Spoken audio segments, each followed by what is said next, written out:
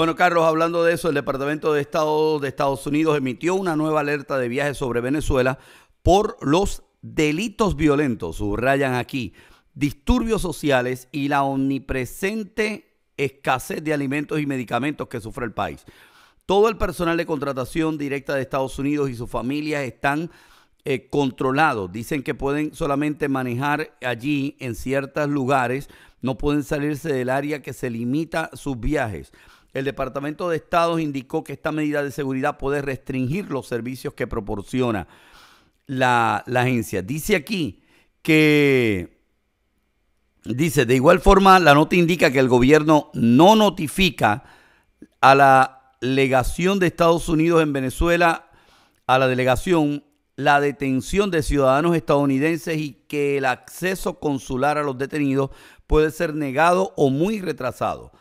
Al ciudadano detenido se le puede negar el acceso a, atención médica adecuada, agua limpia y alimentos. Dice que están arrestando individuos, incluyendo norteamericanos, así porque sí. El gobierno estadounidense recuerda que Venezuela tiene una de las tasas de criminalidad más altas del mundo, incluyendo una de las tasas de homicidios más altas, los crímenes violentos, incluyendo asesinatos, robo a mano armada, secuestro y robo de automóviles. Y mientras esto ocurre, Venezuela ayer cerró las fronteras de Brasil y Colombia. Carlos, eh, como que de nuevo se encendió la llama de Venezuela.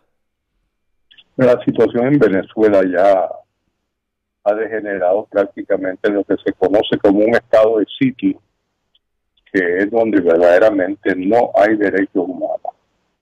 No hay derechos civiles y muchas veces no hay derechos humanos.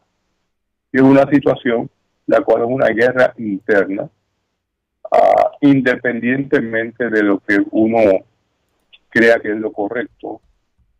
Lo que tenemos en Venezuela es la confrontación del Ejecutivo venezolano, que es Maduro, con la legislatura venezolana que la controla la oposición. Y en esa guerra es donde tantas personas están sufriendo. La, ah, el otro el otro grupo de gobierno que es la, la judicatura, pues ya ese ya Maduro se había encargado de controlarlo y de hecho había comenzado bajo Chávez ese control. Así que lo que tenemos verdaderamente es una crisis constitucional más una crisis humana. Crisis constitucional más crisis humana. Bueno, mientras tanto hice un comentario en el al empezar el programa Mientras tanto, hay gente molesta. De hecho, ayer hablaba con, alguien de Venezuela que me hizo, que, que hace unos meses admiraba al Papa Francisco y dice que el Papa Francisco, de hecho, voy a repetir lo que me dijo. Me dijo, ese hombre, refiriéndose al Papa Francisco, ese hombre es un comunista igual que los demás. Así me dijo y cuando yo le pregunté, ¿por qué tú dices eso? Y me dice, ese hombre ha permitido que Nicolás Maduro haga lo que le dé la gana. Cuando estaba ya a punto del referéndum revocatorio, el Papa Francisco salió a defender a Maduro, a decir que Maduro necesitaba, que, que, que, que el pueblo se tenía que unir al diálogo. Y dice, ¿cómo es posible que él pida el diálogo con un hombre que no le gusta dialogar con nadie?